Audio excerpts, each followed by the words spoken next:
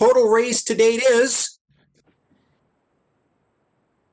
Oh, wow. Oh, $130,000. Nice. Amazing.